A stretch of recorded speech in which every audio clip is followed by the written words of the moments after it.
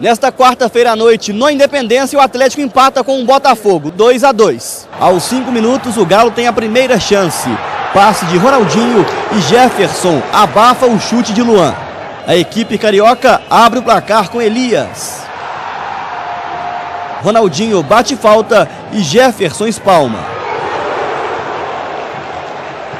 Mas desta vez, cobrança de falta perfeita.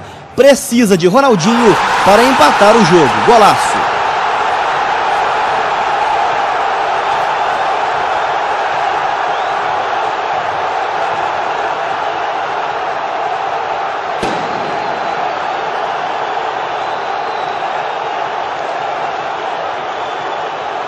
No segundo tempo, Vitor mostra por que foi um dos heróis da conquista da Copa Libertadores e faz essa defesaça.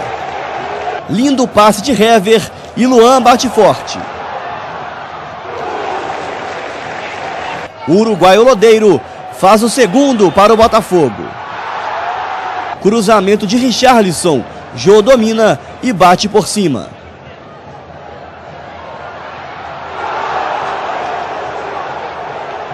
Aos 35 minutos, claramente, Dória derruba Luan na área e o árbitro Rafael Klaus não marca nada. Nos acréscimos, Marcos Rocha lança na área e Luan empata a partida.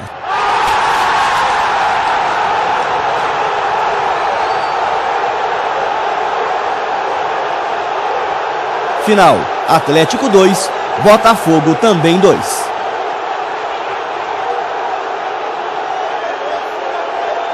muito tempo sem fazer gol. E atacante vive de gol, né? Eu vim insistindo, e eu brinquei com o Michel hoje. Eu falei, Michel, eu tô sentindo que eu vou fazer um gol hoje. E graças a Deus aí fui feliz, estou muito emocionado. Fui abraçar o Galo lá, porque, pô, muita emoção para mim. Não, não, era ideal, mas diante das circunstâncias, uh, não serve. Né? Mas não houve falta de luta, não houve falta de empenho. Né? A equipe do Botafogo é uma, uma equipe muito bem montada, muito bem organizada.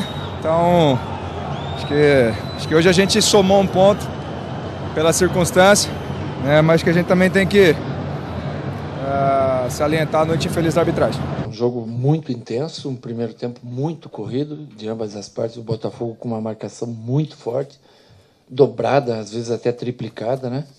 Correndo muito saiu na frente de uma bola parada, escanteio, cabeceio, nós tivemos que ter mais força ainda, mais esforço para poder empatar o jogo, criamos algumas oportunidades e empatamos o jogo e criamos pelo lado do campo porque o meio estava muito congestionado, né?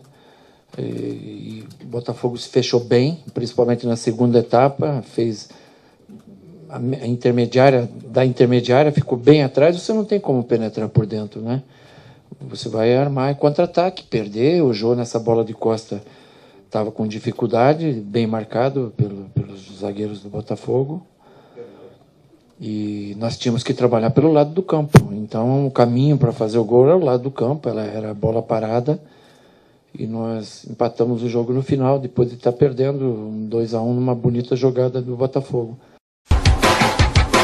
Galo, galo.